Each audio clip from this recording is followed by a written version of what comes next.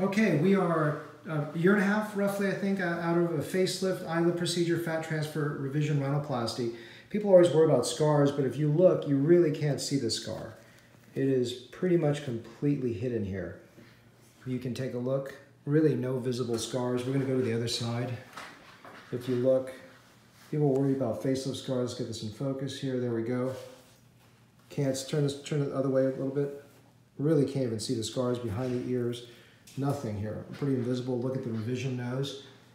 Really can't even find the incision on there. Let's take a look at the eyelids. What incisions? So people are always worried about incisions, but their nose. Are you happy with everything? Absolutely thrilled, Dr. Lam. Is it too youthful? Too youthful, yes. Uh-oh. I'm having to chase them away. That's what I hear.